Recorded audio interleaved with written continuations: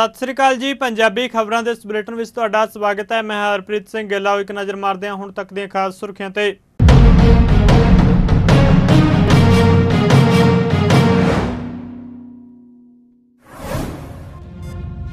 ਜੈਪੁਰ ਵਿੱਚ ਵੱਡੇ ਸਮਾਗਮ ਵਿੱਚ ਅਰਵਿੰਦ ਕੇਜਰੀਵਾਲ ਅਤੇ ਪੰਜਾਬ ਦੇ ਮੁੱਖ ਮੰਤਰੀ ਭਗਵੰਤ ਮਾਨ ਨੇ ਰਾਜਸਥਾਨ ਦੇ ਲੋਕਾਂ ਨੂੰ ਦਿੱਤੀ ਕੇਜਰੀਵਾਲ ਦੀ ਗਰੰਟੀ। ਮੁੱਖ ਮੰਤਰੀ ਮਾਨ ਨੇ ਕਿਹਾ, ਅਸੀਂ ਜੁਮਲੇਬਾਜ਼ ਨਹੀਂ, ਗਰੰਟੀ ਦਿੰਦੇ ਹਾਂ, ਤਾਂ ਪੂਰੀ ਕਰਦੇ ਹਾਂ। ਪੰਜਾਬ ਦੇ ਮੁੱਖ ਸਕੱਤਰ ਅਨੁਰਾਗ ਵਰਮਾ ਨੇ ਸੜਕੀ ਨਿਯਮਾਂ ਦੀ ਸਖਤੀ ਨਾਲ ਪਾਲਣਾ ਕਰਨ ਦੇ ਦਿੱਤੇ ਨਿਰਦੇਸ਼ ਕਿਹਾ ਮੁੱਖ ਮੰਤਰੀ ਦੇ ਨਿਰਦੇਸ਼ਾਂ ਉੱਤੇ ਲੋਕਾਂ ਦੀ ਸੁਰੱਖਿਆ ਯਕੀਨੀ ਬਣਾਉਣ ਲਈ ਲੋੜੀਂਦੇ ਕਦਮ ਚੁੱਕੇ ਜਾਣ।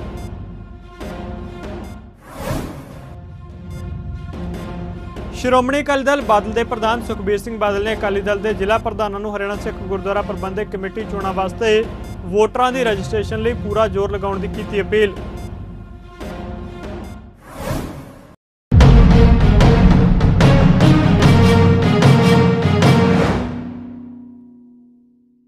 ਤੇ ਹੁਣ ਖਬਰਾਂ ਵਿਸਤਾਰ ਨਾਲ।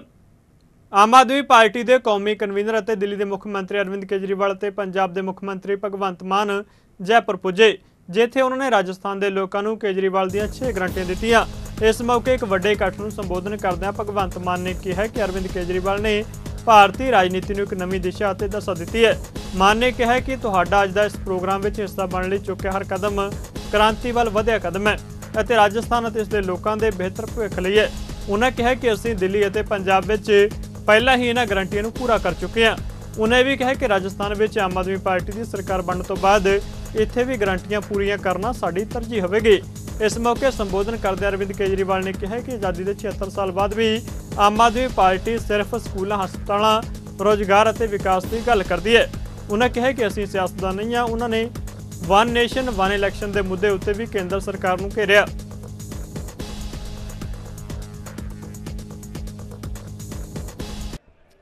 आज, जयपुर में बहुत ऐतिहासिक दिन है। जब आम आदमी पार्टी के राष्ट्रीय संयोजक, नेशनल कन्वीनर और देश की राजनीति को नई दिशा और दशा देने वाले मुख्यमंत्री दिल्ली, श्री अरविंद केजरीवाल जी अपनी गारंटियाँ देने आए हैं। आप लोग इतना प्यार दे रहे हो, आप लोग का जुनून, उत्साह, जज्बा देखकर बहुत खुशी हो रही है, क्योंकि आप लोग घर से जब एक कदम बाहर निकले इस कार्यक्रम के लिए, वो असल में एक कदम नहीं था, वो इनकलाब के लिए और राजस्थान की भलाई के लिए वो उठाया हुआ कदम था। कि जिस तरीके से गंगा उल्टी चल नहीं सकती। उसी तरीके से अरविंद केजरीवाल की दी हुई गारंटी बदल नहीं सकती। ये घर पे ले जाइएगा। संभाल के रखिएगा इसको। ये वो गारंटियाँ हैं, जो ऐसी गारंटियाँ हैं, जो ऐसे हवा में नहीं फेंकते हम। ये गारंटियाँ दिल्ली और पंजाब में पूरी करके आपके बीच में आए हैं भाई साहब। हम वही कहते हैं जो कर सकते हैं, जो कर सकते हैं वही लिखते हैं। वही लिखते हैं जो कर सकते हैं। शिक्षा की गारंटी हमने पंजाब में लागू की। पंजाब में अभी रिज़ल्ट आए हैं, क्योंकि मार्च में हमारी सरकार बनी थी तो मार्च से ही सेमेस्टर शुरू होता है। पंजाब में अभी रिज़ल्ट आए हैं। पांचवीं से लेके आठवीं बोर्ड है, पांचवी बोर्ड है, आठवीं बोर्ड है, दसवीं बोर्ड है, ग्यारहवीं, बारहवीं, सभी क्लासों में सरकारी स्कूलों के आम घरों के बेटे बेटियाँ पहले नंबर पर आए हैं, फ़र्स्ट आए हैं। और कितने नंबर लिए? तीन लड़कियाँ, फ़र्स्ट आई। आठवीं क्लास में से तीन लड़कियाँ। प्राइवेट स्कूल की नहीं, दो दो सरकारी स्कूल की। दोनों बच्चियों के नंबर 600 में से 600 और हम लोगों ने उन तीनों बच्चियों को घर पे बुलाया, पचास पचास हज़ार रुपया नगद इनाम दिया उनको। अब जो भी आठवीं, दसवीं, बारहवीं में फ़र्स्ट आता, पैसे हम हौसला बढ़ाते हैं उनका। एक मौका दे दो, राजस्थान वालों आपको भी 24 घंटे बिजली दिखा देंगे हम।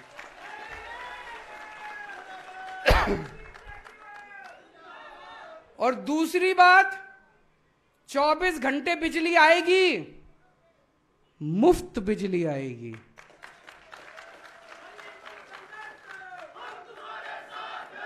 दिल्ली में मुफ़्त बिजली, पंजाब में मुफ़्त बिजली, राजस्थान में भी मुफ़्त बिजली आएगी। हम 300 यूनिट बिजली हर परिवार को हर महीने देंगे, लगभग 90 परसेंट परिवार कवर हो जाते हैं इसमें। आपके बच्चों को की ज़िम्मेदारी मैं ले रहा हूँ। आपके बच्चे मेरे बच्चे, आपके बच्चों को अच्छी से अच्छी शिक्षा दिलवाने की, फ्री में शिक्षा दिलवाने की ज़िम्मेदारी मेरी है। कोई पार्टी आके नहीं कहेगी। कोई पार्टी आपके बच्चों की ज़िम्मेदारी नहीं लेगी। मैं आपके बच्चों की ज़िम्मेदारी ले रहा हूँ। आपके बच्चों को अच्छी शिक्षा दिलाने की ज़िम्मेदारी मेरी है। जितने कच्चे अध्यापक हैं, अभी अभी मान साहब ने बताया, बारह हज़ार कच्चे टीचर थे राजस्थान में, सबको पक्का कर दिया। यहाँ भी जितने टीचर हैं, कच्चे टीचर हैं, सारे कच्चे टीचरों को पक्का करेंगे। और ये लोग टीचरों से सारे टीचिंग के अलावा सारे उल्टे सीधे काम कराते हैं। कराते हैं कि नहीं कराते? कोई जनगणना कराएँगे, कभी कोई इलेक्शन का काम कराएँगे वोटिंग का काम, ये सब बंद करेंगे। दिल्ली में भी बंद कर दिया, पंजाब में भी। टीचर केवल टीचिंग का काम करेगा, शिक्षा का काम करेगा, शिक्षा के अलावा कोई काम नहीं करेगा। तीसरी गारंटी, स्वास्थ्य की गारंटी। आपके परिवार के एक एक व्यक्ति को अच्छा इलाज दिलवाने की गारंटी मेरी है। भगवान ना करे कोई बीमार हो। भगवान ना करे, भगवान करे, सब स्वस्थ रहें, खुश रहें। लेकिन अगर कोई बीमार होता है, आज अगर कोई बीमार हो जाए, सरकारी अस्पतालों का कोई पता नहीं, हर आदमी प्राइवेट में लेके जाता है और प्राइवेट में अगर चला जाए तो ज़मीन भी बिक जाती है, जेवर भी बिक जाते हैं, सब कुछ बिक जाते हैं। दिल्ली में हमने सबका इलाज मुफ़्त कर दिया, चाहे कोई अमीर हो, चाहे गरीब हो। सरकारी अस्पताल शानदार बना दिए एयर कंडीशनड बना दिए सरकारी अस्पताल। हर मोहल्ले में मोहल्ला क्लिनिक खोल दिए। अब अगर आपका, चाहे क्रोसिन की टेबलेट है, चाहे चालीस लाख का, पचास लाख का इलाज है, सारा इलाज मुफ़्त है, सारी दवाइयाँ मुफ़्त है, सारे टेस्ट मुफ़्त हैं, सब कुछ मुफ़्त है, सबका इलाज मुफ़्त है। दिल्ली में और पंजाब में हमने एक व्यवस्था कर दी, एक फ़ोन नंबर दे दिया। आपको कोई काम कराना है, उस फ़ोन नंबर पे फ़ोन करो और बोलो, जी, मेरे को राशन कार्ड बनाना है। उधर से आवाज़ आती है, कितने बजे आए आपके घर राशन कार्ड बनाने? आपको दफ्तर जाने की ज़रूरत नहीं है। आपके घर आके राशन कार्ड, आपका जाति प्रमाण पत्र, आपका मैरिज सर्टिफिकेट जो भी काम कराना है, आपके घर आके करके जाते हैं, बिना पैसे के, कोई छुट्टी नहीं लेनी, कोई दलाल के चक्कर नहीं काटते, काटने, आपके घर आके काम करके जाएँगे। यही व्यवस्था राजस्थान के अंदर करेंगे। और हर महिला को 18 साल से ऊपर की हर महिला को, हर महीने हज़ार हज़ार रुपए उसके बैंक अकाउंट में डलवाएँगे। एक श, जो अभी मान साहब ने बताया राजस्थान पुलिस या राजस्थान का रहने वाला कोई सैनिक अगर बॉर्डर पे शहीद होता है काम करते हुए उसको एक करोड़ रुपए की सम्मान राशि मिलनी चाहिए कि नहीं मिलनी चाहिए? और जितने अपने कर्मचारी हैं राजस्थान में कच्चे कर्मचारी हैं पंजाब में पैंतीस हज़ार कच्चे कर्मचारी थे उसमें से अट्ठाईस हज़ार को पक्का कर दिया इन्होंने बाकी भी कर रहे हैं। राजस्थान में भी जितने कच्चे कर्मचारी हैं, सारे कच्चे कर्मचारियों को पक्का किया जाएगा। और एक आपको रोज़गार की गारंटी देके जा रहा हूँ, जो इसमें नहीं लिखी। दिल्ली में दिल्ली में लगभग 12 लाख बच्चों के लिए हमने रोज़गार का इंतज़ाम किया। 12 लाख बच्चों के लिए। पंजाब में तीस हज़ार बच्चों को ये सरकारी नौकरी दे चुके हैं।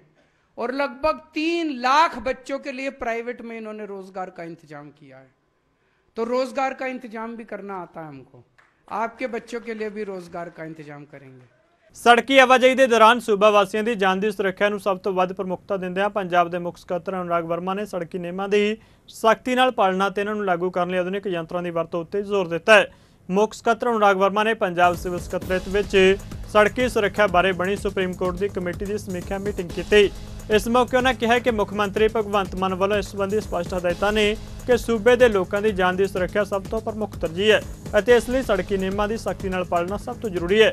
ਉਹਨਾਂ ਅੱਜ ਟਰਾਂਸਪੋਰਟ ਅਤੇ ਗ੍ਰਹਿ ਵਿਭਾਗ ਦੇ ਅਧਿਕਾਰੀਆਂ ਨੂੰ ਜ਼ਮੀਨੀ ਪੱਧਰ ਉੱਤੇ ਨਿਯਮਾਂ ਦੀ ਪਾਲਣਾ ਲਈ ਵਰਤੇ ਜਾਣ ਵਾਲੇ ਆਧੁਨਿਕ ਯੰਤਰਾਂ ਦੀ ਤੁਰੰਤ ਖਰੀਦ ਕਰਨ ਲਈ ਵੀ ਕਿਹਾ।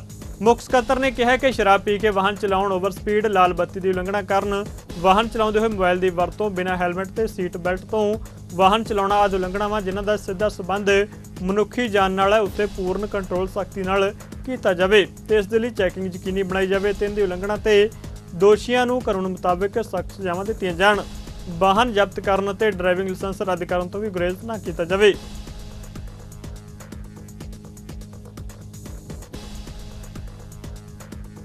ਕੇਂਦਰੀ ਸੂਚਨਾ ਤੇ ਪ੍ਰਸਾਰਣ ਤੇ ਯੁਵਾ ਮਾਮਲੇ ਤੇ ਖੇਡਾਂ ਬਾਰੇ ਮੰਤਰੀ ਅਨੁਰਾਗ ਸਿੰਘ ਠਾਕੁਰ ਫਗਵਾੜਾ ਤੇ ਜਲੰਧਰ ਵਿੱਚ ਮੇਰੀ ਮਾਂ, ਮੇਰਾ ਦੇਸ਼ ਪ੍ਰੋਗਰਾਮ ਵਿੱਚ ਹਿੱਸਾ ਬਣਨ ਲਈ ਪਹੁੰਚੇ।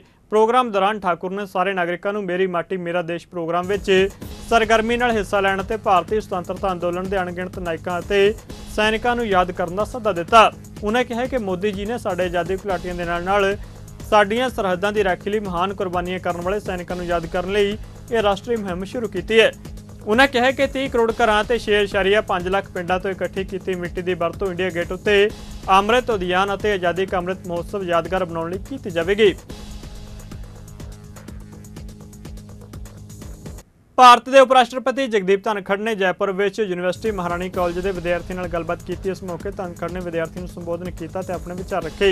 ਇਸ ਤੋਂ ਪਹਿਲਾਂ ਜਗਦੀਪ ਧਨਖੜ ਅਤੇ ਉਹਨਾਂ ਦੀ ਪਤਨੀ ਡਾਕਟਰ ਸੁਦੇਸ਼ ਧਨਖੜ ਨੇ ਯੂਨੀਵਰਸਿਟੀ ਮਹਾਰਾਣੀ ਕਾਲਜ ਵਿੱਚ ਅਹੁਦਾ ਲਗਾਇਆ।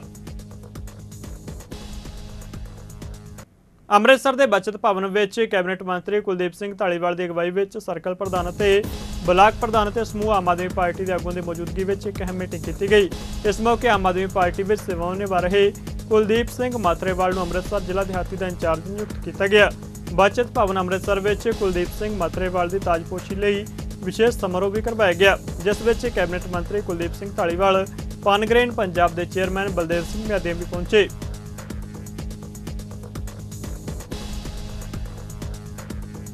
ਭਾਰਤੀ ਜਨਤਾ ਪਾਰਟੀ ਦਾ ਕੌਮੀ ਸਕੱਤਰ ਬਣਨ ਉਤੇ ਰਾਜਸਥਾਨ ਦੇ ਅਲਵਰ ਅਤੇ ਭਰਤਪੁਰ ਤੋਂ ਵੱਡੀ ਗਿਣਤੀ ਵਿੱਚ ਸਿੱਖ ਭਾਈਚਾਰੇ ਦੇ ਮੈਂਬਰਾਂ ਨੇ ਕੌਮੀ ਰਾਜਧਾਨੀ ਦਿੱਲੀ ਪਹੁੰਚ ਕੇ ਸਰਦਾਰ ਮਨਜਿੰਦਰ ਸਿੰਘ ਸਿਰਸਾ ਦਾ ਸਨਮਾਨ ਕੀਤਾ। ਭਾਜਪਾ ਦੀ ਕੌਮੀ ਲੀਡਰਸ਼ਿਪ ਦਾ ਧੰਨਵਾਦ ਕੀਤਾ ਗਿਆ।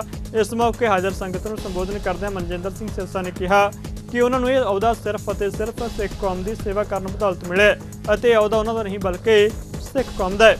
ਉਹਨਾਂ ਕਿਹਾ ਕਿ ਉਹ ਸਮੁੱਚੀ ਕੌਮ ਨੂੰ ਭਰੋਸਾ ਦਿਵਾਉਂਦੇ ਨੇ ਕਿ ਹਮੇਸ਼ਾ ਸੱਚੇ ਦਿਲੋਂ ਅਤੇ ਪੂਰੀ ਤਨਦੇਹੀ ਨਾਲ ਸਿੱਖ ਕੌਮ ਦੀ ਸੇਵਾ ਕਰਦੇ ਰਹਿਣਗੇ। ਇਸ ਮੌਕੇ ਦਿੱਲੀ ਸਿੱਖ ਗੁਰਦੁਆਰਾ ਪ੍ਰਬੰਧਕ ਕਮੇਟੀ ਦੇ ਜਨਰਲ ਸਕੱਤਰ ਸਰਦਾਰ ਜਗਦੀਪ ਸਿੰਘ ਕਾਲੋਂ, ਸਰਦਾਰ ਅਮਨਦੀਪ ਸਿੰਘ ਥਾਪਰ, ਸਰਦਾਰ ਰਮਨਪ੍ਰੀਤ ਸਿੰਘ, ਸਰਦਾਰ ਹਰਵਿੰਦਰ ਸਿੰਘ ਘੁੱਗੀ ਤੇ ਹੋਰ ਪਤਵੰਤੇ ਸੱਜਣ ਮੌਜੂਦ ਰਹੇ।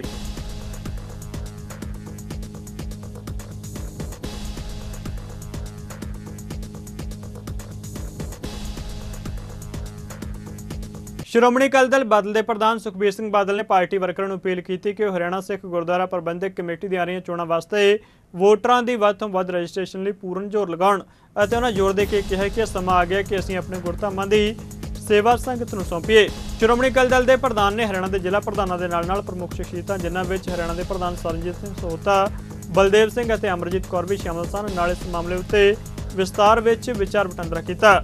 ਸੁਖਬੀਰ ਸਿੰਘ ਬਾਦਲ ਨੇ ਅਕਾਲੀ ਦਲ ਦੇ ਜ਼ਿਲ੍ਹਾ ਪ੍ਰਧਾਨਾਂ ਨੂੰ ਅਪੀਲ ਕੀਤੀ ਕਿ ਉਹ ਹਰਿਆਣਾ ਦੀ ਸਮੁੱਚੀ ਲੀਡਰਸ਼ਿਪ ਦੇ ਨਾਲ ਮਿਲ ਕੇ ਵੋਟਰਾਂ ਦੀ ਰਜਿਸਟ੍ਰੇਸ਼ਨ ਦੀ ਮੁਹਿੰਮ ਵਿੱਚ ਸ਼ਮੂਲੀਅਤ ਕਰਨ। ਉਹਨਾਂ ਕਿਹਾ ਕਿ ਸਾਰੇ ਸਿੱਖਾਂ ਦੇ ਘਰਾਂ ਤੱਕ ਪਹੁੰਚ ਕੇ ਉਹਦੇ ਵੋਟਰ ਰਜਿਸਟ੍ਰੇਸ਼ਨ ਫਾਰਮ ਭਰਵਾਏ ਜਾਣ ਤੇ ਉਹਨਾਂ ਨੂੰ ਖਾਲਸਾ ਪੰਥ ਨੂੰ ਕਮਜ਼ੋਰ ਕਰਨ ਦੀਆਂ ਸਾਜ਼ਿਸ਼ਾਂ ਤੋਂ ਜਾਣੂ ਕਰਵਾਇਆ ਜਾਵੇ।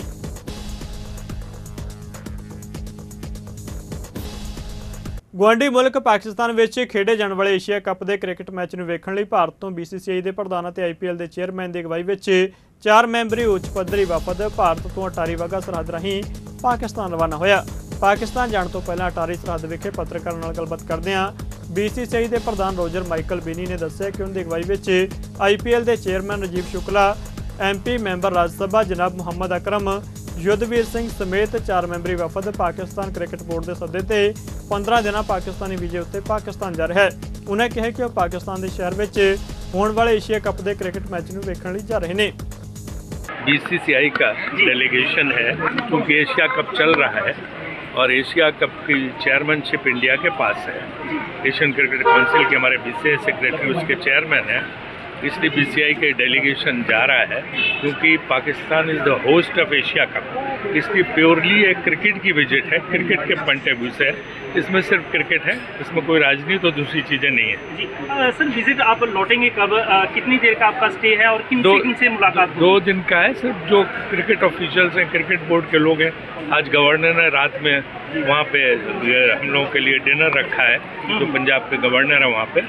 और वहाँ पे तीनों टीमें रहेंगी बांग्लादेश बांग्लादेश की भी और अफगानिस्तान भी पाकिस्तान भी तो वो इस तरह से वो जो है उन्होंने रखा है और इसलिए अ, जो है क्रिकेट के मुतलिक विजिट है सर ਚੰਦਰਯਾਨ 3 ਦੀ ਸ਼ਾਨਦਾਰ ਸਫਲਤਾ ਦੀ ਖੁਸ਼ੀ ਵਿੱਚ ਸੈਕਟਰ 17 ਪਲਾਜ਼ਾ ਵਿਖੇ ਕੇਂਦਰੀ ਸੰਚਾਰ ਬਿਊਰੋ ਵੱਲੋਂ ਊਰਜਾਵਾਨ ਫਲੈਸ਼ ਮਾਬ ਦਾ ਆਯੋਜਨ ਕੀਤਾ ਗਿਆ ਜਿਸ ਵਿੱਚ ਵੱਡੀ ਗਿਣਤੀ ਵਿੱਚ ਨੌਜਵਾਨਾਂ ਨੇ ਸ਼ਿਰਕਤ ਕੀਤੀ ਅਤੇ ਦੇਸ਼ ਭਗਤੀ ਦੇ ਗੀਤਾਂ ਉੱਤੇ ਜਸ਼ਨ ਮਨਾਇਆ ਇਸ ਮੌਕੇ ਪ੍ਰਾਈਸ ਇਨਫੋਰਮੇਸ਼ਨ ਬਿਊਰੋ ਪੀਆਈਬੀ ਦੇ ਵਧੇਕ director general ADG Rajinder Chaudhary ਹਾਜ਼ਰ ਸਨ ਜਿਨ੍ਹਾਂ ਨੇ ਸਮਾਗਮ ਦੀ ਮਹੱਤਤਾ ਬਾਰੇ ਦੱਸਿਆ, ਉਹਨਾਂ ਕਿਹਾ ਕਿ ਚੰਦਰਯਾਨ ਦੀ ਸਫਲਤਾ ਨੇ ਦੇਸ਼ ਦਾ ਨਾਮ ਰੌਸ਼ਨ ਕੀਤਾ ਹੈ ਉਹਨਾਂ ਕਿਹਾ ਕਿ ਫਲੈਸ਼ ਮਾਬ ਦਾ ਵਿਸ਼ਾ ਭਾਰਤ ਦੇ ਪੁਲਾੜ ਖੋਜ ਯਤਨਾਂ ਦੀ ਜਿੱਤ ਅਤੇ ਇਸ ਸੁਪਨੇ ਨੂੰ ਸਾਕਾਰ ਕਰਨ ਵਿੱਚ ਭਾਰਤੀ ਪੁਲਾੜ ਖੋਜ ਸੰਗਠਨ ਇਸਰੋ ਦੁਆਰਾ ਨਿਭਾਈ ਗਈ ਮਹੱਤਵਪੂਰਨ ਭੂਮਿਕਾ ਦੇ ਆਲੇ ਦੁਆਲੇ ਕੇਂਦਰਿਤ ਰਿਹਾ ਉਹਨਾਂ ਨੇ ਕਿਹਾ ਕਿ ਸੀਬੀਸੀ ਚੰਡੀਗੜ੍ਹ ਵੱਲੋਂ ਆਯੋਜਿਤ ਫਲੈਸ਼ ਮਾਬ ਕਲਾਤਮਕ ਪ੍ਰਗਟਾਵੇ ਅਤੇ ਭਾਈਚਾਰਕ ਸ਼ਮੂਲੀਅਤ ਦੀ ਇੱਕ ਜਿਉਂਦੀ ਜਾਗਦੀ ਮਿਸਾਲ ਬਣ ਗਿਆ ਹੈ। हाल ही में चंद्रयान थ्री की जो सफलता हुई है इनफेक्ट आगे हमने देखा कि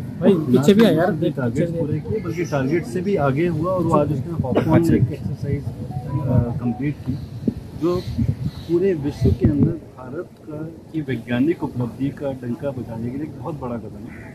और उसी खुशी में यहाँ पर लोगों ने एक फ्लैश मॉब जैसे हम जानते हैं कि इकट्ठा हुए कुछ गानों पर नाच गाना किया एक तरह से सेलिब्रेट किया। मुझे लगता है जो ये युवा शक्ति का एक जोश है कि हम भी दुनिया की किसी भी बेहतरीन विकसित राष्ट्र से अच्छी वैज्ञानिक प्रगति कर सकते हैं उनसे आगे जा सकते हैं। भविष्य आशान्वित है हमारी तरफ़ देख रहा है। And in particular should feel very happy they should feel motivated they should feel enthusiastic कि साडा कंट्री भी इतना आगे जा सकता है। तो ये सारी चीज़ों को मिलाकर यहाँ पर एक आज फ़ैशन हुआ। जिसमें हमने चंद्रयान थ्री से जुड़े हुए कुछ अच्छी प्रेजेंटेशन देखे, गाने देखे पब्लिक ने उसमें सपोर्ट किया। तिरंगा को लेकर जिस तरह से गर्व लोगों के अंदर था, लोग तिरंगा लेकर नाच गा रहे थे तो मुझे लगता है बहुत खूबसूरत पल थे और खासतौर से यहाँ पर सेक्टर 17 की मार्केट जहाँ बहुत लोग आते हैं। तो जब इस तरह की गर्व की चीज़ें उनके सामने होती हैं तो it creates positivity and positivity leads to positive results I think it's a very great very very innovative initiative undertaken by ministry of आइन की लेकिन सिर्फ इसमें मिनिस्ट्री ऑफ आइन की तो सिर्फ एक पहल की है इसकी जो असली उपलब्धि है लोगों के बीच में है जिन्होंने यहाँ आकर आज चंद्रयान की सफलता को साथ मिलके नाच गाकर अच्छे अच्छे अ, देशभक्ति वाले गाने गाकर अपने तिरंगा को गर्व से फहराकर ਸੀਬੀਸੀ ਵੱਲੋਂ ਚੰਦਰਯਾਨ 3 ਦੀ ਸਫਲ ਲਾਂਚਿੰਗ ਤੇ ਦੇਸ਼ ਭਰ ਦੇ ਵੱਖ-ਵੱਖ ਹਿੱਸਿਆਂ ਵਿੱਚ ਫਲੈਸ਼ ਮਾਬ ਦਾ ਆਯੋਜਨ ਕੀਤਾ ਗਿਆ, ਜਿਸ ਤਹਿਤ ਸਾਈਬਰ ਹੱਬ ਗੁੜਗਾਉਂ ਵਿੱਚ ਕੈਲਾਸ਼ ਚੰਦਰ, ਉਦੈਪੁਰ ਵਿੱਚ ਰਮੇਸ਼ਵਰ ਮੀਣਾ ਭੋਸਤਾ ਲੇਕ ਏਰੀਏ ਵਿੱਚ ਅਜੇ ਪ੍ਰਕਾਸ਼ ਉਪਾਧਿਆਏ, ਮਰੀਨਾ ਬੀਚ ਚੇਨਈ ਵਿੱਚ ਅਰੁਣ ਕੁਮਾਰ ਪਿਲਾਨੀ ਅਤੇ ਚੰਡੀਗੜ੍ਹ ਦੇ ਸੈਕਟਰ 17 ਵਿੱਚ ਸ੍ਰੀ ਬਲਵੰਤ ਨੇ ਫਲੈਸ਼ ਮਾਬ ਦਾ ਆਯੋਜਨ ਕੀਤਾ, ਜਿਸ ਦੌਰਾਨ ਨੌਜਵਾਨਾਂ ਨੇ ਦੇਸ਼ ਭਗਤੀ ਦੇ ਗੀਤਾਂ ਉੱਤੇ ਨੱਚ ਗਾ ਕੇ ਖੁਸ਼ੀ ਦਾ ਇਜ਼ਹਾਰ ਕੀਤਾ ਤੇ ਦੇਸ਼ ਦੇ ਵਿਗਿਆਨੀਆਂ ਨੂੰ ਸੈਲੂਟ ਕੀਤਾ।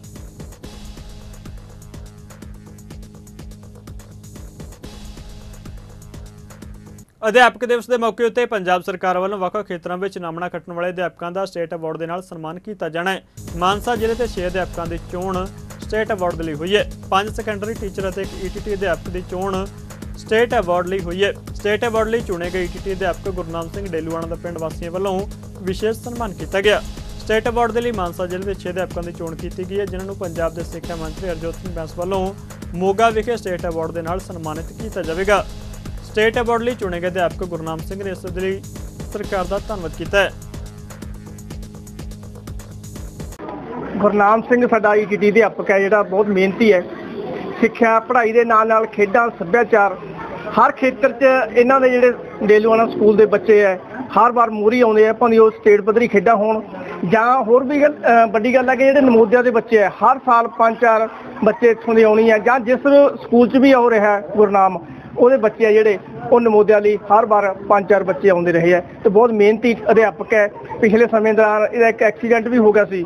ਉਸ ਦੇ ਬਾਵਜੂਦ ਹੈ ਜਿਹੜੇ ਨਮੋਦਿਆਂ ਦੀ ਤਿਆਰੀ ਹੈ, ਆਪਦੇ ਘਰ ਬਹਿ ਕੇ ਇਹਨਾਂ ਨੇ ਬੱਚੇ ਨੂੰ ਕਰਵਾਈ ਸਭ ਤੋਂ ਪਹਿਲਾਂ ਤਾਂ ਜੀ, ਜਿੰਨੇ ਵੀ ਸਾਡੇ ਮਾਨਸਾ ਜ਼ਿਲ੍ਹੇ ਦਾ ਅਧਿਆਪਕ ਸਹਿਬਾਨ ਨੇ, ਤੇ ਇਸ ਪਿੰਡ ਦੇ ਪਤਵੰਤੇ ਸੱਜਣ, ਸਮੁੱਚੀ ਪੰਚਾਇਤ ਪਾਸੋਂ ਕਮੇਟੀ ਤੇ ਸਾਰੇ ਪਿੰਡ ਵਾਸੀਆਂ ਨੂੰ ਬਹੁਤ ਬਹੁਤ ਮੁਬਾਰਕਾਂ।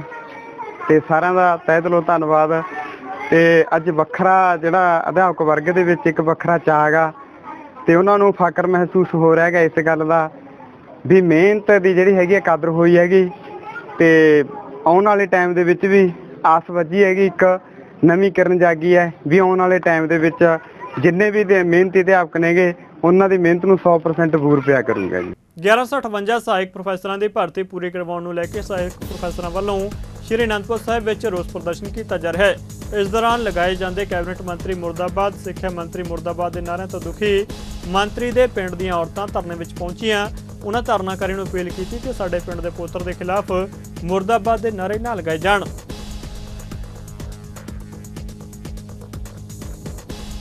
ਪੰਜਾਬੀ ਖਬਰਾਂ ਦੇ ਇਸ ਬੁਲੇਟਿਨ ਵਿੱਚ ਫਿਲਹਾਲ ਨਹੀਂ ਜਾਂਦੇ ਆਂਦੇ ਨਜ਼ਰ ਮਾਰਦੇ ਹਾਂ ਮੌਸਮ ਦੇ ਹਾਲ ਤੇ। ਤੁਸੀਂ ਬਣੇ ਰਹੋ ਚੜ੍ਹਦੀ ਕਲਾ ਟਾਈਮ ਟਿਪ ਦੇ ਨਾਲ। ਧੰਨਵਾਦ।